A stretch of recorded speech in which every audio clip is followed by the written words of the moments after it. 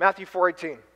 While walking by the Sea of Galilee, Jesus saw two brothers, Simon, who was called Peter, and Andrew, his brother. So the very first Sunday, or the first Sunday we started looking at people, we, I, I talked about Peter.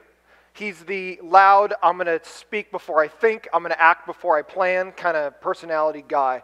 He's the loud, your loud college idiot type friend. Andrew, his brother, which, we, which I talked about last week, the exact opposite of his brother. Quiet behind the scenes. He doesn't want to be on stage. He just wants to be uh, kind of working uh, where no one can kind of see him. And he is the opposite of his brother, kind of polar opposites. So they're two brothers. They own a fishing business together as brothers on the Sea of Galilee.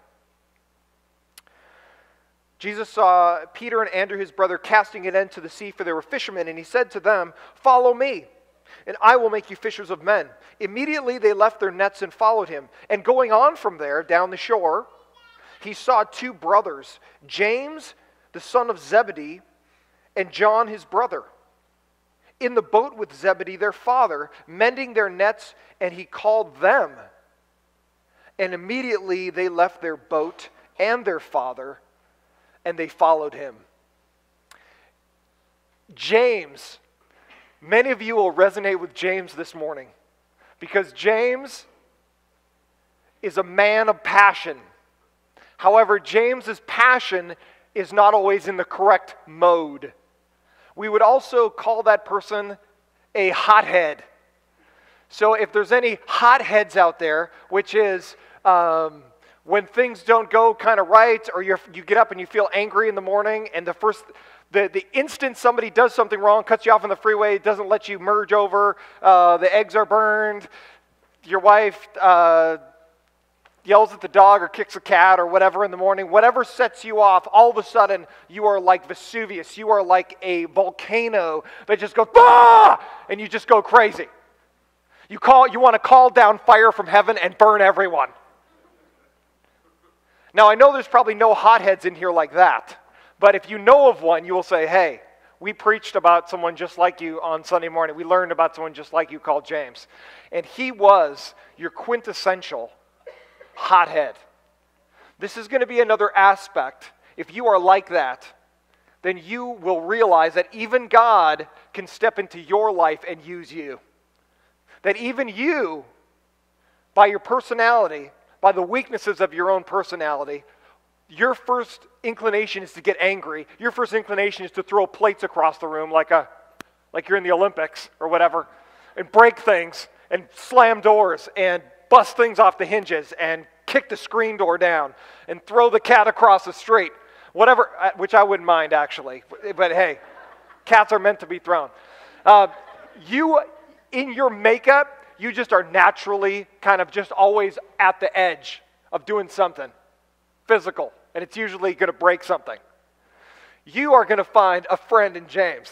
And we're going to take a look at his story this morning and how God uses James. Number one, the background James the hothead. James the hothead. For any of us in here that, uh, that kind of live like that, that always live on the edge of like the minute somebody does something to me, man, I'm going to let them know how I feel. If I feel disrespected, if somebody does something wrong to me, man, they're going to know about it. I'm going to let them know verbally, physically. I'm going to tell them. That's who James was. James ran a fishing business on the Sea of Galilee with his brother John and their father Zebedee. They probably lived in Capernaum like Peter and Andrew and partnered with them in their fishing business together. And we see that in Luke 5 7 through 10. Zebedee was a man of significant means as he was able to employ his own sons as well as multiple servants. I want you to look in Mark chapter 1. So turn uh, Matthew, Mark, it's the next book. Turn towards the back of your Bible. Mark chapter 1. This is really interesting because many times we think, oh, uh, the disciples, they were all really poor people. Uh, they were, you know, they weren't very, um, there's no like middle class or upper class to the disciples. Actually, as we go along, you're going to see that Jesus grabs everybody. He grabs the rich guy, he grabs the middle class, hardworking guy, he grabs the lower class guy. He, inside of his disciples, his 12 that he's ultimately going to end up with, he has really people from every socioeconomic background. And, and James and John, they come from a pretty well to do family. Zebedee owns his own fishing business and he actually employs people. He's like kind of your small business owner that's doing really well. He's making maybe in our society six figures, half a million dollars. Uh, he's, he's doing well. Got his own boats, got his own guys to go out and fish for him. And James and John grow up in a pretty middle class, upper class uh, type of setup for their time. Look in Mark chapter 1. Mark chapter, chapter 1, verse 20.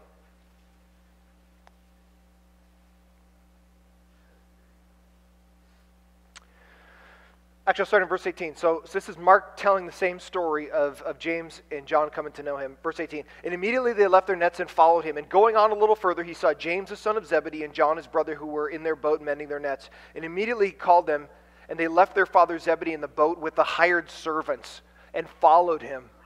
I want you to see something.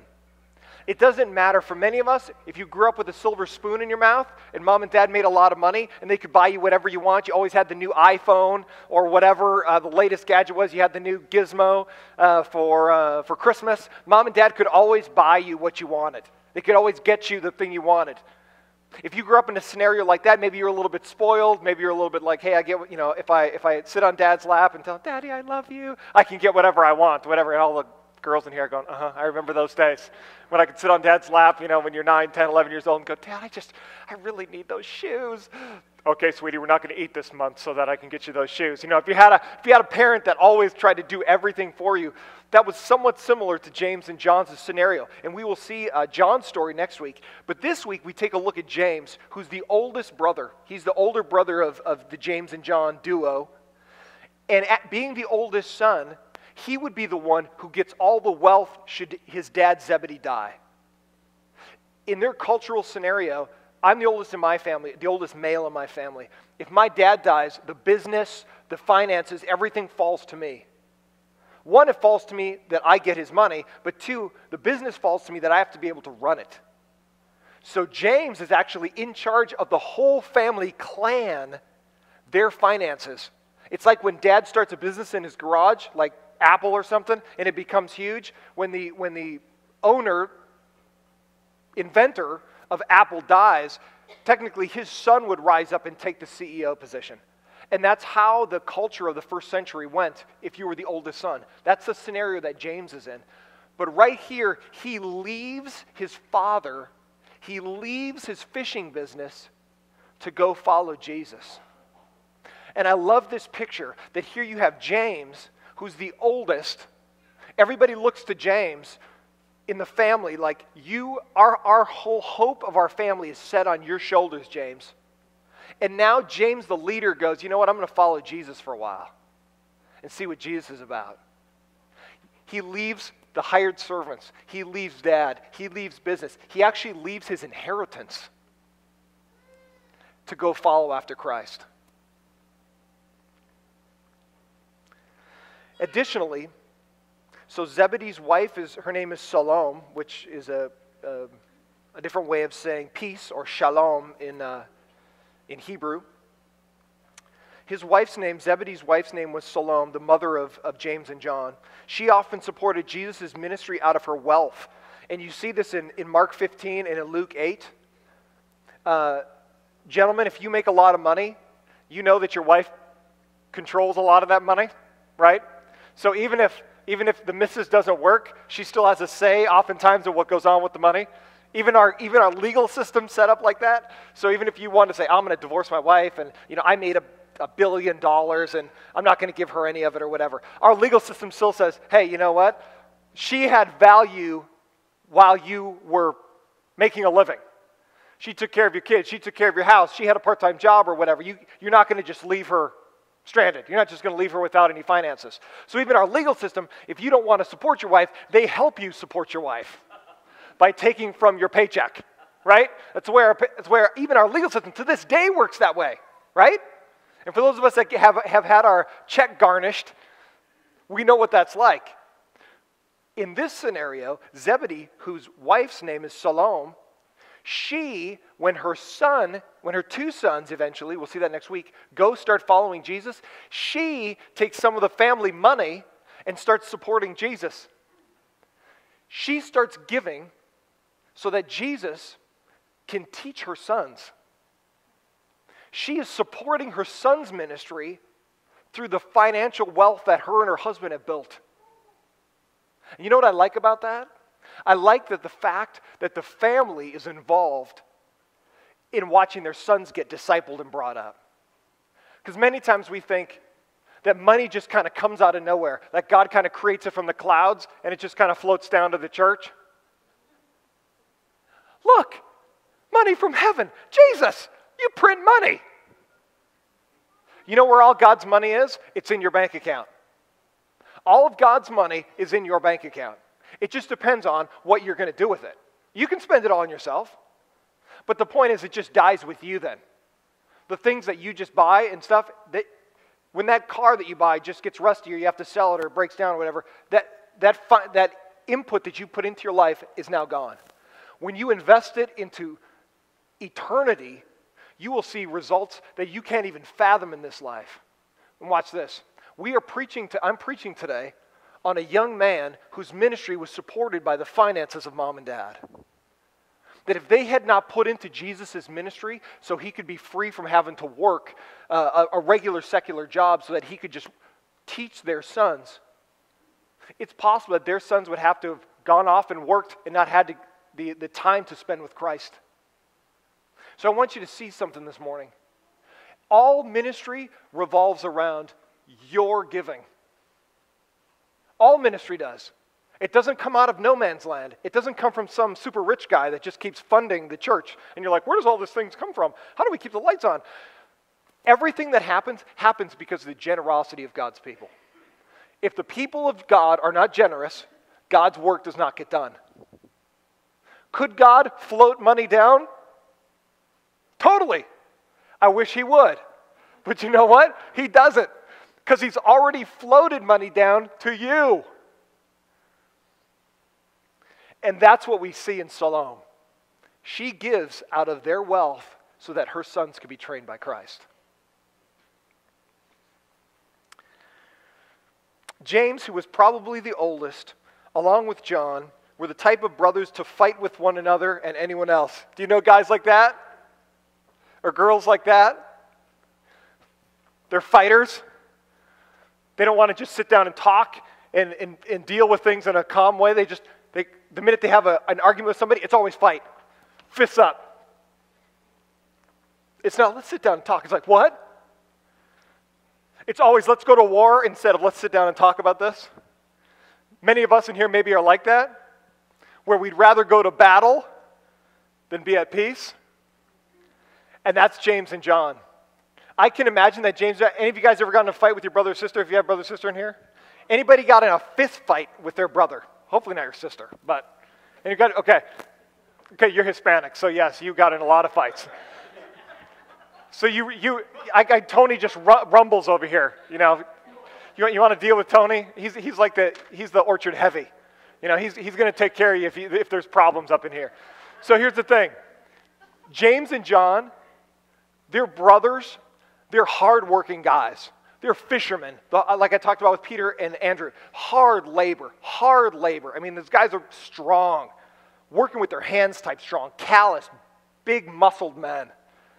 And I can imagine if you're a big muscled guy and you're a hothead, you're the kind of guy that goes to LA Fitness just to pick a fight or whatever. You know, you go to Gold's Gym and lift, you know, pressing 400 pounds. You go, hey, seems like you're looking at me a little funny.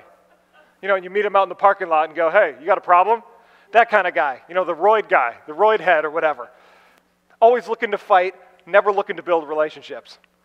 James and John, we see them as that kind of person.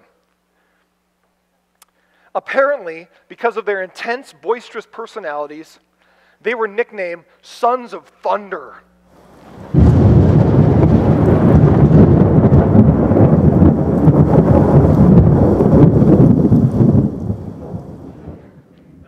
Ask and you shall receive.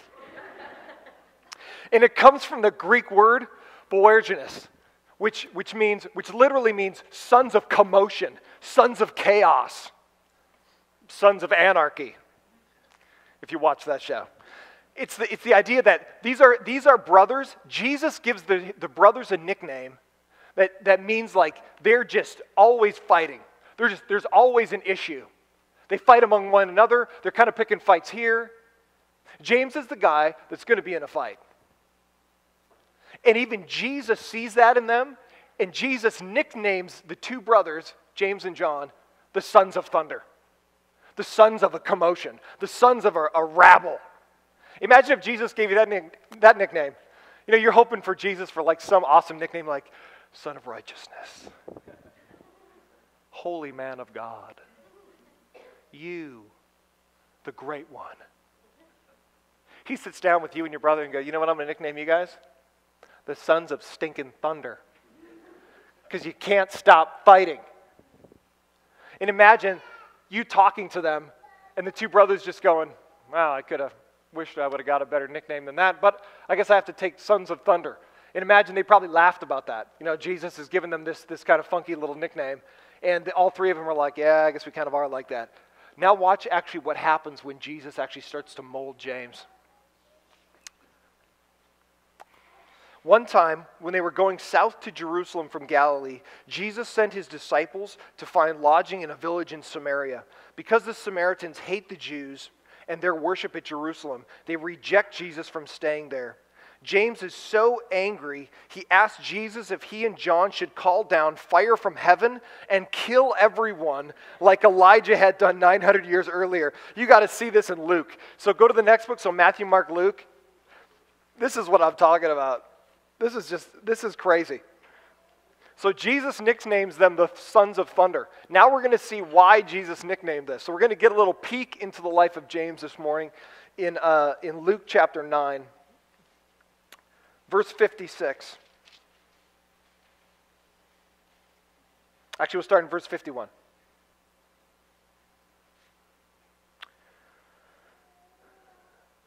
When the days drew near for him to be taken up, he set his face to Jerusalem, and he sent messengers ahead of him who went and entered a village of the Samaritans to make preparations for him.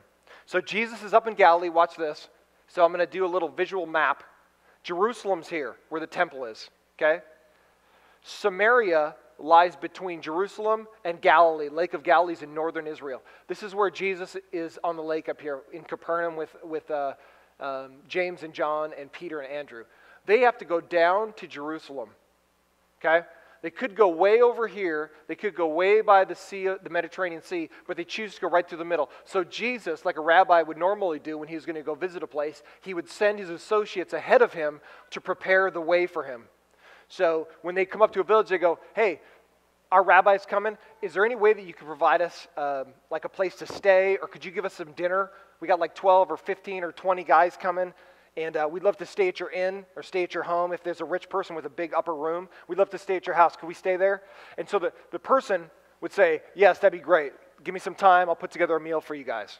What happens when Jesus sends his disciples ahead, James and John and the rest of the guys, they go into the village and they go, Hey, uh, Jesus is coming. We'd like, to, uh, we'd like to stay at your village. They go, Are you guys heading to Jerusalem because you guys are Jews? Yeah. You guys aren't welcome here. We reject you out of our, why don't you just get out of our village? And so they tell this to James and John get out of here. Get your Galilee butts up out of our Samaritan village. So James is like, oh, really? You can tell me to leave your village. So he like walks out and he walks to Jesus, and this is the conversation they have, ready? But the people did not receive him because his face was set towards Jerusalem. And when his disciples James and John saw this, they said, Lord, do you want us to tell fire to come down from heaven and consume them? All right, let's stop. Let's stop for a second. Let's put this picture together in our minds. Ready? Because we think of Jesus, you know, gentle and mild, and hey, oh, oh, I have never worked a day in my life. I'm milky, and I just, I live in a basement or whatever, and just pray all day. Jesus is a real working man. He, he really walks around. He really, he does real things like a man does, okay? He's not some uh, milk toast Jesus eh, like the paintings you have of like he's never seen a day of sun in his whole life or whatever, okay? With the perfect hair or whatever he's got going on there. But that's not the Jesus of the Bible. The Jesus of the Bible walked miles and miles and miles in the hot sun, did hard labor when he was younger. He's a real man's man, okay? when his hothead disciples, James and John, come back to him, they go, You know what, Jesus? We went to the Samaritan village. They don't even want you here. Should we call down fire from heaven and burn them all? now, watch this. What, you know what I love about what Jesus doesn't say? Watch this. Jesus doesn't say, What are you talking about? No one can do that. Jesus doesn't say that's impossible. Jesus doesn't say that that couldn't happen. Jesus just rebukes them because that's not his mission. His mission was not to kill people, his mission was to save people. So I love the fact that Jesus doesn't, doesn't go, What are you even talking about? Nobody can call down fire from heaven. He actually just rebukes them for, for the thought of wanting to kill them because they were, they were rejected. But he also doesn't say, You know what? I know you guys probably could do that. Elijah, who had, about 900 years earlier did call down fire from heaven in Samaria, and he had killed uh, 100 guys. Armies came to try to arrest Elijah. Elijah. Elijah prays this to God If I'm a man of God, then let fire fall from heaven and burn all these guys. It says fire fell from heaven and charred these armies that kept coming to try to arrest Elijah. And pretty soon the last, the last army guy's like, please, Elijah, don't kill me. And then God says, You're welcome to go with this, with this guy and, and, and speak to the king. There was precedence that God would send down fire from heaven for disrespect. And so James goes, Hey, should we call down some fire? And I love that Jesus goes, Shut up. Because it says he rebuked them and then they went on. They went on to another village. I love the fact that James was ready to call down fire. I mean, he would have just stood out in the, in the desert outside the village and gone, All right, here we go. Here we go. He's one of those guys. Men are all about honor and respect. Men will die for respect. If they don't feel respect from their wife, if they don't feel respect from their job, if they don't feel respect, uh, men don't function in disrespect. They have to have an outlet. They drink, they get high, they don't come home, they punch things. Uh, they have to, there's an outlet for men that, that, that when they're not respected. James, who's already a hothead, when he's not respected, I can just imagine him going, oh, oh, oh, somebody's going to get charred up in here. oh, you're going to kick me out of your village? We're going to see who the daddy really is around here. I'm going to call down some fire, and um, you're not going to be around to disrespect me again, son. Imagine that scenario. We think of the disciples as just like these kind of milk, milky guys that are just like, we just do whatever Jesus wants. James is like, oh, oh, Jesus, oh, Jesus, oh, Jesus. You hear what they said? We came to set up a, uh, a room for you, and they said, no. They said, because you're a Jew, and we culturally, we hate you. Eth- ethnically, we hate you. We don't want you to go to Jerusalem, so we're not going to support your mission. You want me to charm for you, Jesus? I'll, I'll do it. I'm not scared, Jesus. I'll call down some fire right now. And Jesus says, Hey, that's not my mission.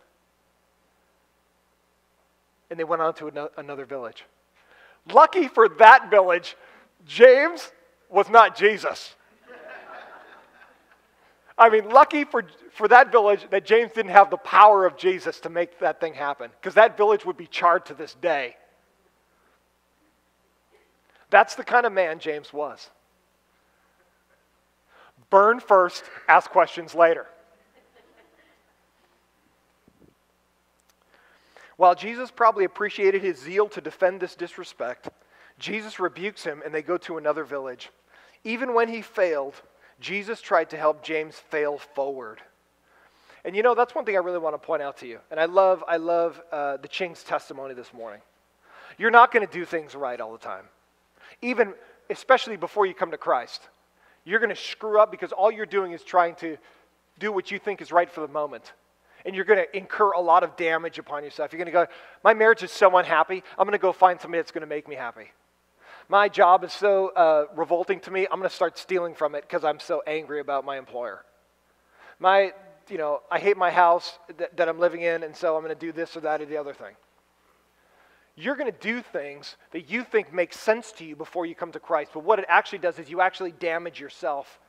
So that eventually, when you come to Jesus, you have to unpack all that garbage. You have to repair all the damage that you didn't even realize you were doing to yourself before you came to know Jesus. So God has to do recon work and, and, and start repairing you from the back end because of damage that you even did to yourself before you even came to know Jesus. But that's how good God is. God will take your damaged, broken self and build you up still. He will take the nasty part of your heart that you can't even get rid of, the, the, the, the, soot that, that lays inside of there that you can't get rid of, the anger and the bitterness, and He starts to mold it and make it soft and make something beautiful out of your life. And that's what God does with James. You will not do everything right. You will sin against God. But if you're repentant, God, like a good father, takes you back and cleans you up and makes you something great. You will never be great, but God can make you great for his glory. You will not be great in yourself, but you can be great with God's help. And I love that he does this with James. James, I'd, I'd much rather have a guy like James than a guy that never did anything. Those of us that own a business or something, we always love the guy that's trying to do something, that has some passion for it, rather than the guy that we have to like prod, like your, like your teenage son or daughter, to go do something. Will you please take out the trash? Now it's not please anymore. Go take out the trash right now. Oh, I'll get to it in 14 years or whatever. I want you to do it right now. It's that prodding. It's, like, man, if you had kids that were just like, how can I help? How can I help? How can I help? I mean, we've never even heard that in our homes, right? You're like, what kind of kid are you talking about? You know, if, you, if your kid just got up in the morning and went, Mom, Dad, how can I help you? I appreciate everything you've done for me. I didn't buy these clothes. I don't, you know, I don't support this home. I didn't pay for the electric bill. So in, in the honor of you in my life, I just want to say, how can I help?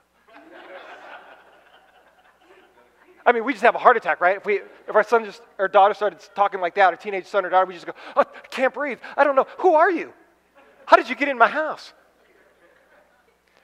I love the guys that if they're going to fail, they're going to fail at doing something moving forward. Not the guys that are just like, you always have to prod them. You ready now? You ready now? You ready now? James is the guy that you want on your team. Just like Richard Sherman for the Seahawks, he's going to say some stupid stuff once in a while. He's going to say stuff that you see on SportsCenter and you go, as an owner, you just go, oh, wow. But you know what?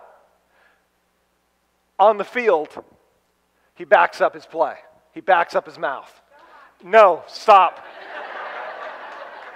I use him as an illustration, not because the Seahawks are awesome, okay? Now listen. You want a guy that if he's going to fail, he's going to fail forward. Not the guy that's going to fail and go, I give up. And I love that about James. He says some dumb things, he wants to do some dumb things. But man, I love that Jesus doesn't go, James, you're a lost cause. He takes James and all of his hothead glory and he, and he channels and funnels that energy towards righteousness. So, for those of us that are hotheads, we're only hotheads because many times we don't get what we want, or things aren't the way that we want them, and they're not the way we want them right now. And so rather than handling them in a, in a proper way, we just blow up because we have all this extra energy of anger. Jesus wants to take that in you and make it righteous. Take all that extra energy, that latent energy that you just want to blow things up with, and channel it for His glory. Because some of the greatest men of history, some of the greatest women of, of the kingdom, have been hotheads. But the refining work of God took all that negative energy and made it positive for the kingdom. Number two, the follow me moment. James leaves his fishing business. James leaves his fishing business. After James saw Jesus produce a miracle catch of fish, he left his father's business to become a fisher of men. Being the oldest son, to leave the family business where he would be the owner at his father's death was a significant and potentially costly decision. For the next 18 months, despite his pride, arrogance, and personality that had to often be corralled by Jesus, he was used because of his go getter intensity and entrepreneurial drive. Hey, there's some entrepreneurs in here. There's some guys that love to run their own business, some ladies that love to run their own business, and they're, they're willing to risk finances, spend hours and hours and hours making that thing happen. There's some entrepreneurs in here. And I want to bless you from the Lord that God has built you special. God has built you to do those things. God has built you with energy. God has built you with a mind to think how things can be put together. You're going to, as an entrepreneur, you fail a lot. Edison, I think, I think he had like a thousand uh, incarnations of the light bulb before he came up with the right one. It's that intense, we, we benefit today from Edison's failures because he never gave up. He goes, It's almost there, it's almost there, this filament doesn't quite work, it's almost there, it's almost there, and all of a sudden, boom, we have light. To this day, we benefit from an entrepreneur, from a guy who was willing to sacrifice his time and his energy and his own money to make things happen. And there's some guys and, and women in here like that. And I want to bless you this morning that God can use you for his glory. God can use your mind, God can use your energy as long as it's under his control. When you're living for God, anything you do can be used for His glory if you're willing to come under His control. And just like entrepreneurs, they don't want a boss. That's why they're entrepreneurs, right? They're basically bossless bosses. You don't want a boss, so you go, I can, I can do better than this, and you start it in your own garage or whatever. Hey, that's where Apple Computer came from, right? We benefit from somebody else's drive. But here's the thing you don't want to use your own energy for your own glory. You want to be, be, be molded by the, the hand of God. And you can do something great for the kingdom of God. Even God can't steer a parked car. James was always listed among the first three disciples, showing that he was one of the most influential and trusted confidants of Jesus. The goal of living should not be a long life, but rather a lasting influence the follow me ending. How did James's life end? How did the hothead's life end? He ended his life by losing his head. James was beheaded. The follow me ending James is beheaded. Before Jesus was crucified, he predicted James would be executed, and we see that in Mark 10, right at the very end. Um, James and John, they want to know who the greatest in the kingdom is. You ever had employees like that? Or maybe you are that employee or, or, uh, or part of a company that you're like, how can I be the CEO? James and John were like that all the time. Right before Jesus is going to the cross, James and John are the ones like, hey, hey, hey, Jesus. Because they think he's going to set up the kingdom. He's, if this is right, we get ready to celebrate it actually this, uh, this April. We're going to celebrate um, uh, when Jesus is going to enter Jerusalem and present himself as king, right before uh, Easter, right before he dies. They think he's going into Jerusalem to set up his, his earthly kingdom. And so, right before he gets ready to go into Jerusalem, they get together with Jesus and they're like, hey, would you mind if I sit at your right hand and my brother could sit at your left? Because those are the positions of power if you're a king, those that sit at your right and your left are your second and third most powerful. So imagine James and John, the hothead brothers, going, hey, let's not talk about it to any of the other disciples, but I want to let you know, Jesus, when you roll into Jerusalem as the Messiah, as the guy that's going to set up your kingdom, I, I got your. It's me and you, Jesus. Uh, my brother, too. But it's basically me and you. Imagine James. He's the entrepreneur guy. He's the guy like, I'm, I see an opportunity, I'm going to grab it. James and John are recorded in the Bible as being the ones that go to Jesus and go, Hey, we want to sit at your right and your left. How fantastic that we're brothers. And you have a right hand and you have a left hand, and we could occupy each space. You can be the man, we'll be your helpers. If something happens to you, Jesus, we'll take over. We'll run the show, Jesus, if you die or whatever. They don't have a concept that Jesus is going to die for the sins of the world. They think he's going to set up his earthly kingdom, but they want a piece of it. But right then, Jesus says, You're going to drink the cup that I drink, which means I'm going to be executed, and James, you will be executed as well. 14 years later, James, who was now a church leader, was arrested by Herod Agrippa I and beheaded with a heavy bladed sword around 44 AD. And we see that in Acts 12, uh, 1 through 3. Actually, James probably cried like that and uh, when he was arrested. what we realize is that James, once he was arrested, knew it was a one way ticket. Herod Agrippa arrested him. He was the first apostle to die, he was the first disciple to die. So the one that said, I want to sit at your right hand, Jesus, that same guy was the first one of everybody to die. And Jesus said to him, Can you drink the cup that I'm going to drink? In other words, can you do what I'm going to do? And James and John said, Yes, we can. And they thought what he meant at that moment was, Are you going to be able to handle the pressure of running, running a, a kingdom like I can run it? And they're just like, Yeah, I'm ready. But what Jesus meant was, I'm going to go die. Can you drink the same cup I'm going to drink?